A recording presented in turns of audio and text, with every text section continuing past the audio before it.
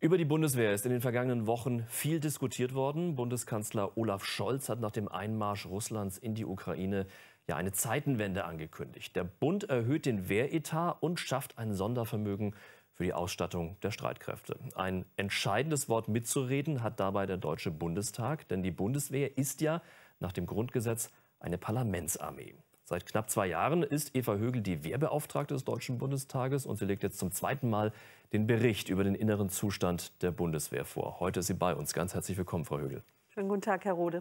Ja, der Wehretat, der soll steigen auf 2% des Bruttoinlandsprodukts. Das ist auch NATO-Vorgabe schon seit eh und je. Darin enthalten ist auch ein Sondertopf in Höhe von 100 Milliarden Euro für die Ausstattung der Bundeswehr. Man hat den Eindruck, plötzlich ist ganz viel Geld da, was soll damit passieren?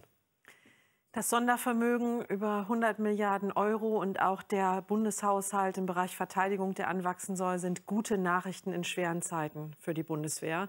Denn dieses Geld wird dringend benötigt und mit, insbesondere mit diesem Sondervermögen kann jetzt das alles finanziert werden, was die Bundeswehr dringend braucht, um die Einsatzbereitschaft vollständig wiederherzustellen. Aber was denn zum Beispiel? Was wird denn da alles gebraucht gerade? Also ich habe natürlich auch eine Wunschliste, aber wichtig ist es vor allen Dingen, dass all das beschafft wird, was schon lange auf diversen Wunschlisten mhm. steht und was die Truppe dringend braucht. Ich fange mal an mit der Ausstattung. Für mich als Wehrbeauftragte ist es natürlich nicht akzeptabel, so wenig wie es akzeptabel ist für alle Soldatinnen und Soldaten, dass sie nicht alles am Mann und an der Frau haben, was sie für ihren Dienst und den jeweiligen Auftrag mhm. brauchen. Das beginnt bei Kälte- und Nässeschutz, das geht über Schutzwesten und dann bin ich schon beim Gerät, nämlich zum Beispiel bei den Funkgeräten, die 30 Jahre alt sind und das endet beim großen Gerät, denn auch das ist nötig für den Auftrag, aber auch für Ausbildung und Übung und deswegen sind wir dann auch bei Panzern, bei äh, Flugzeugen und bei Booten und Schiffen. Ganz neu, äh, was jetzt auch erst gerade gekommen ist, die Meldung, dass äh, F-35-Kampfjets gekauft werden sollen. Können Sie das bestätigen so? Ich kann natürlich diese Meldung noch nicht bestätigen. Ich habe sie aber zur Kenntnis genommen und ich freue mich darüber. Denn ähm, was besonders wichtig ist, dass jetzt endlich eine Entscheidung getroffen wird für die Tornado-Nachfolge. Das war ganz wichtig. Das hat sich die Koalition ja auch vorgenommen. Und ein modernes Flugzeug F-35 zu bestellen, was äh, gut genutzt werden kann für äh, die nukleare Teilhabe und was auch unsere Partnernationen äh, bereits äh, in der Nutzung haben, das ist mit Sicherheit eine gute Entscheidung. Aber wie schnell äh, kann das denn alles passieren? So die Aufstockung der Truppe, neue, äh, neue Ausstattung, neues großes Gerät, das ist ja nichts, was von heute auf morgen geht. Ja, und das ist ein ganz wichtiger Gesichtspunkt, denn das Geld, was jetzt zur Verfügung gestellt wird, das muss in der Truppe ankommen und zwar zügig. Und deswegen reicht dieses Geld, was prima ist, das reicht allein nicht aus, sondern auch die Verfahren und Strukturen müssen dringend überarbeitet werden. Die Beschaffungsprozesse müssen beschleunigt werden, das Vergaberecht muss vereinfacht werden und deswegen muss geguckt werden, dass äh, das Geld nicht erst im Jahr 2050 oder irgendwann in der Truppe ankommt, sondern sehr bald. Und auch deswegen habe ich eine. Priorität auf unmittelbare Ausstattung und Ausrüstung. Mhm. Aber trotzdem noch mal nachgehakt, ähm, wenn man sagt, man kauft jetzt neue Kampfjets zum Beispiel, bleiben wir bei den F 35, die ja kommen sollen. Das Geld ist da, das Geld kann, äh, die Truppe kann darüber verfügen. Trotzdem ist es ja bei der Bundeswehr in den vergangenen Jahren immer so gewesen, dass sie, wie Sie es gerade eben schon angesprochen haben, erst eine Ausschreibung gibt, dann wird das äh, gekauft, dann wird das langsam eingeführt in die Truppe, dann wird darauf ausgebildet und ehe man sich versieht, sind zehn Jahre vergangen. Gibt es Perspektiven, dass das schneller werden kann? Das muss schneller werden. Und deswegen gibt es ja auch verschiedene Ideen. Zum Beispiel, dass wir nicht immer für die deutsche Bundeswehr alles ähm, extra entwickeln, dass, äh, sondern dass wir uns entscheiden, von unseren Partnernationen zu kaufen, am Markt verfügbares Gerät oder auch unmittelbar die Ausstattung am Markt besorgen, also nicht immer die Goldrandlösung. Mhm. Und dass wir auch in Europa und in der NATO auch arbeitsteilig arbeiten, dass wir tatsächlich Projekte auch gemeinsam entwickeln.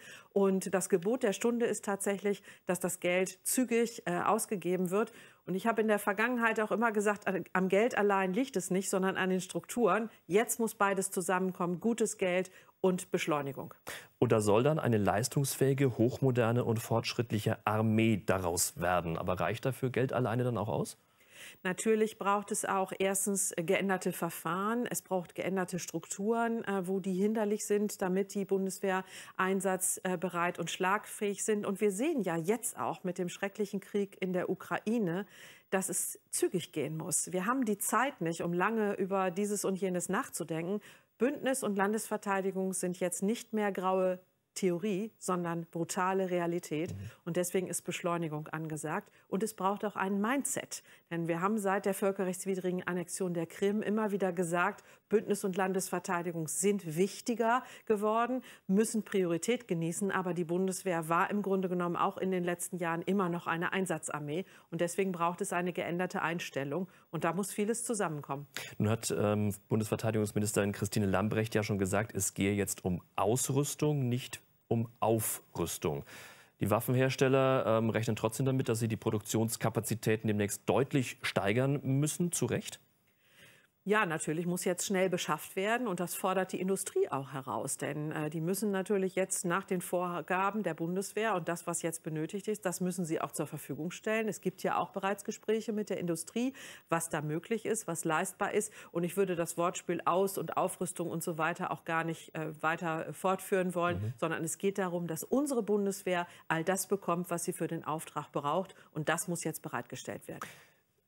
Jetzt ist Bewegung in die ganze Angelegenheit gekommen seit dem Einmarsch Russlands in die Ukraine. Ähm, der russische Präsident ist viel weiter gegangen, als viele jemals gedacht hätten.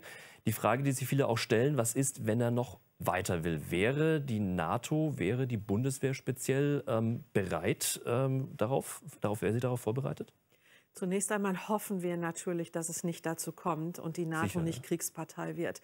Aber selbstverständlich ist die NATO vorbereitet und muss das auch noch intensivieren. Wir haben ja die ähm, NATO Response Forces, wir haben eine schnellere Reaktionszeit äh, vereinbart. Wir sind in der NATO gut aufgestellt. Wir unter, unterstützen auch unsere Partner an der Ostflanke in Litauen schon seit einigen Jahren. Geplant ist in der Slowakei, aber auch das Air Policing in Rumänien. Mhm. Also da kommt einiges zusammen. Und die gute Nachricht ist ja auch, auch, wir sehen, dass sowohl Europa geschlossen steht als auch die NATO und äh, alles dazu getan wird, um äh, erstens nicht Kriegspartei zu werden, aber auch um so wirksam abzuschrecken, dass Putin nicht auf die Idee kommt, ein NATO-Mitgliedsland anzugreifen. Aber dennoch hört man immer auch aus Kreisen der Bundeswehr direkt, dass die Kaltstartfähigkeit fehle, also die Möglichkeit, innerhalb kürzester Zeit zu reagieren. Sie haben jetzt einige Beispiele aufgezählt, dass dem nicht so ist. Aber wie, was, was sagen Sie diesen Menschen, die sagen, Kaltstartfähigkeit, das funktioniert nicht bei der Bundeswehr? Das muss definitiv noch besser werden und daran wird bei der Bundeswehr auch gearbeitet. Und ich habe das ja eben schon gesagt, dieser fürchterliche Krieg führt dazu, dazu, dass bestimmte Dinge auch noch mal anders priorisiert werden müssen. Es muss jetzt darum gehen, schnell reaktionsfähig zu sein und alles bereitzustellen. Und das fassen wir mit dem Begriff Kaltstartfähigkeit zusammen. Und daran muss in der Bundeswehr, aber auch im NATO-Rahmen und in Europa gearbeitet werden. Jetzt stellen Sie einmal im Jahr einen Bericht vor über das vergangene Jahr, also über das Jahr 2021 jetzt in dem Fall. Da haben wir an dieser Stelle in den vergangenen Jahren immer über flugunfähige Eurofighter und Tornados gesprochen, über defekte U-Boote, über äh, nicht einsatzbereite Panzer und vieles, vieles mehr. Es klang immer so, da funktioniert überhaupt nichts. Hat sich in diesen Fragen aus Ihrer Sicht etwas verbessert? Also natürlich funktioniert in der Bundeswehr ganz viel. Und der Jahresbericht der Wehrbeauftragten ist immer auch ein Bericht, der Mängel, Fehler und Versäumnisse aufzeigt. Denn die sollen im besten Fall dazu dienen, dass an Verbesserungen gearbeitet wird und Lösungen gefunden werden.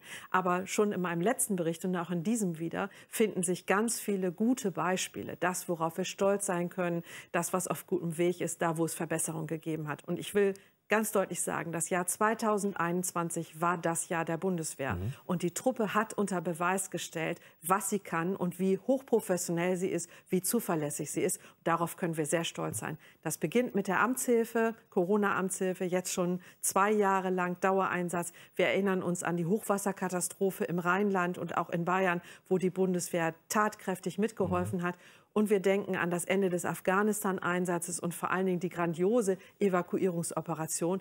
Also die Truppe ist da, wenn sie gebraucht wird und sie ist hoch, ähm, hoch motiviert und sehr leistungsbereit und leistungsfähig. Trotzdem ähm, stellt Alfons Mais, der Inspekteur des Heeres, ja die Gefechtsbereitschaft der Truppe ganz massiv in Frage. Er sagt, die Bundeswehr steht mehr oder weniger blank da, so sein Zitat vor wenigen Wochen. Stimmt das? Das war ein emotionaler, ähm, eine emotionale Wortmeldung, mit dem äh, General Mais auf die bestehenden Defizite hinweisen wollte. Ähm, es ist nicht so, dass die Bundeswehr blank ist, aber trotzdem ist es so, dass an vielen Stellen noch deutlich verbessert werden muss. Und das stelle ich im Jahresbericht 2021 auch dar. Aber mir ist auch wichtig, gerade in dieser Situation, in der wir auf die Ukraine schauen und den fürchterlichen Angriffskrieg von Putin, deutlich zu machen, unsere Truppe kann was und wir können sehr stolz auf sie sein, auf jeden einzelnen Soldaten und auf jede einzelne Soldatin. Und für diesen Kernauftrag, nämlich Verteidigung, braucht sie auch die Rückendeckung des Deutschen Bundestages und der gesamten deutschen Gesellschaft. Und dieser Kernauftrag rückt jetzt ähm, wieder sehr, sehr stark in den Fokus, viel mehr als eben die weltweiten Einsätze zur Friedenssicherung in den vergangenen Jahren. Wie wird das jetzt plötzlich in der Truppe wahrgenommen, dass sich von heute auf morgen dieser Kernauftrag noch mal viel mehr verschärft hat? Also dieser Krieg beschäftigt natürlich alle Soldatinnen und Soldaten, jeden einzelnen, jede einzelne unserer 184.000 Soldatinnen und Soldaten. Ich habe in den letzten Tagen viele Gespräche geführt und sie fragen sich natürlich ganz individuell, was bedeutet das für mich als mhm. Soldat, als Soldatin, was bedeutet das für meinen Verband, werde ich unter Umständen eingesetzt, muss ich verlegen, muss ich mich noch anders vorbereiten, äh, was ähm, mhm. bedeutet das? Und ähm, es wird auch deutlich, und äh, das ähm, muss man ja auch ganz klar sagen, auch in der Bevölkerung, Bevölkerung, wofür wir die Bundeswehr haben, nämlich für den Kernauftrag. Und das bedeutet Frieden sichern, unsere Freiheit sichern und für Sicherheit sorgen. Und äh, das zeigt dieser Krieg auch, dass wir die Bundeswehr dringend dafür mhm. brauchen. Sie haben gerade das Thema Amtshilfe schon angesprochen. Ähm, die Soldaten sind seit zwei Jahren im Einsatz ähm, in Corona-Impfzentren, äh, in Gesundheitsämtern zur Kontaktnachverfolgung, in Krankenhäusern und Pflegeheimen. Dann aber auch ähm, beim Hochwasser, beim schrecklichen Hochwasser im vergangenen Sommer äh, gab es Amtshilfe. Wie viel Amtshilfe dieser Art kann denn die Bundeswehr überhaupt leisten? Ist man da schon, ähm, hat man schon Kapazitäten jetzt erreicht, dass man sagt, es geht nicht mehr oder ist da noch mehr möglich? Also ich werfe noch mal einen Blick auf das Jahr 2021, ja. das zweite Corona-Jahr und die Hochwasserkatastrophe. Da waren äh, zu Spitzenzeiten Mitte Februar 2021 19.000 Soldatinnen und Soldaten im Amtshilfeeinsatz. Und das zeigt, dass die Truppe von dieser Amtshilfe auch enorm belastet ist. Mhm. Sie, äh, sie äh, leistet wirklich Großartiges. Ich sagte es schon, wir können da sehr stolz drauf sein. Aber ich bin der Auffassung, das muss jetzt enden. Denn es kann nicht angehen, dass die Bundeswehr zwei Jahre lang in der Pandemiebekämpfung äh, unterstützt. Da sind jetzt auch Zivile gefragt. Das ist eine Aufgabe des, Katastro äh, der, des Bevölkerungsschutzes und der Katastrophenhilfe. Und äh, deswegen ähm, bin ich der Auffassung, dass dieser Amtshilfeeinsatz jetzt deutlich zurückgefahren werden muss und auch enden muss. Denn erstens, die Truppe wird gebraucht für die Vorbereitung auf die Verstärkung der Ostflanke, mhm. für das, worüber wir eben gesprochen haben, dass sie einsatzbereit ist. Und das Zweite ist, wir schieben auch eine Corona-Bugwelle vor uns her, was Ausbildung und Übung angeht. Und deswegen ähm, ist es auch wichtig für die Einsatzbereitschaft, dass die Truppe nicht länger in dieser hohen Zahl in der Amtshilfe gebunden ist. Mhm. Egal für welche Aufgaben, dafür braucht man Personal. Warum ist es nach wie vor schwierig, geeignetes Personal zu finden? Das ist tatsächlich ein Schwerpunkt meines Jahresberichtes und auch äh, ein Schwerpunkt äh, generell in der Truppe. Die ähm, Bundeswehr braucht gutes Personal, sie muss gute Angebote machen, sie muss das Personal gut entwickeln und auch binden. Und mir ist es äh, sehr, sehr wichtig, und das nehme ich, entnehme ich vielen Gesprächen, die ich äh, mit Soldatinnen und Soldaten dazu führe, dass vor allen Dingen in den Karrierecentern auch ein realistisches Bild gezeichnet wird. Die bunten Plakate und die Werbekampagnen mhm. sind gut, um Personal zu gewinnen. Aber dann kommt es vor allen Dingen darauf an, deutlich zu machen, was heißt es denn, Soldat, Soldatin zu sein. Ich denke, das wird jetzt vor dem Hintergrund des Krieges in der Ukraine noch mal deutlicher. Denn unsere Soldatinnen und Soldaten stehen im Zweifel mit ihrem Leben für ihren Dienst ein. Ja. Und das ist kein normaler Job, den man vergleichen kann mit einer Kfz-Werkstatt oder einer Verwaltung. Und äh, das kommt äh, darauf an, genau die Menschen da auch abzuholen und anzusprechen. Und da muss die Bundeswehr noch besser werden. Aber ich sage auch was Positives. Mhm. Es ist gelungen, den Personalbestand zu halten, trotz Corona. Wir haben 184.000 Soldatinnen und Soldaten. Und das ist in einem Corona-Jahr tatsächlich auch eine. Leistung. Und da sehen wir auch, dass Personalgewinnung ganz gut funktioniert hat. Aber glauben Sie gerade unter dem Aspekt der kriegerischen Auseinandersetzungen jetzt in der Ukraine, dass es schwieriger wird, Menschen zu finden, die sagen, ich möchte Soldat werden, weil man plötzlich weiß, der Krieg ist ganz nah, er kann mich persönlich betreffen als Soldat? Es kann zweierlei passieren. Also wir erleben ja gerade eine größere Beschäftigung in der Gesellschaft mit der Bundeswehr, mhm. mit Militär, mit Verteidigung. Das kann dazu führen, dass viel mehr sich herausgefordert fühlen und tatsächlich der Bundeswehr positiv gegenüberstehen mhm. und sagen, da möchte ich mich auch engagieren, ich entscheide mich für die Bundeswehr. Oder es wird einigen deutlich, was es im Ernstfall heißt, dass es eben nicht nur eine theoretische Diskussion ist, auch in den Einsatz zu müssen und nicht nur weltweit, sondern unter Umständen zur Bündnis- und Landesverteidigung.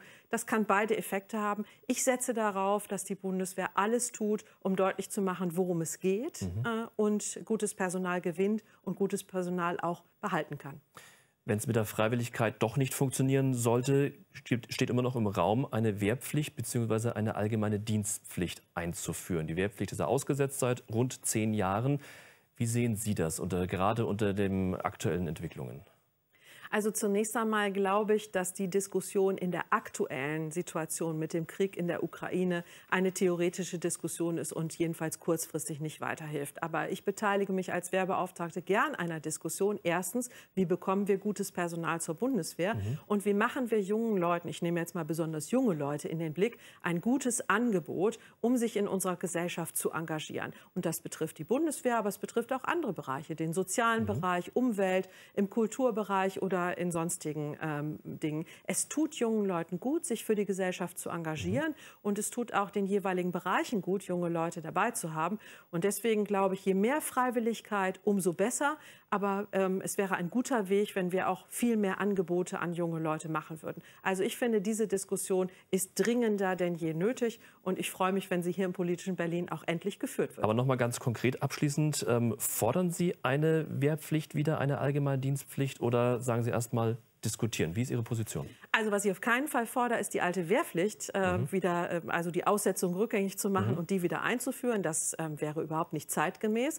Wir müssen das auch vor dem Hintergrund der sicherheitspolitischen Anforderungen und der Bedrohungslage diskutieren. Wir müssen es für Frauen und Männer besprechen. Also da gibt es eine ganze Menge Fragen zu klären. Je mehr Freiwilligkeit, umso besser. Aber verbindliche Angebote für junge Leute halte ich jedenfalls für richtig sagt Eva Högel, die Wehrbeauftragte des Deutschen Bundestages. Vielen Dank, dass Sie heute bei uns waren. Sehr gerne. Und Dankeschön, dass Sie mit dabei waren. Danke fürs Zuschauen. Das war im Interview. Auf Wiedersehen.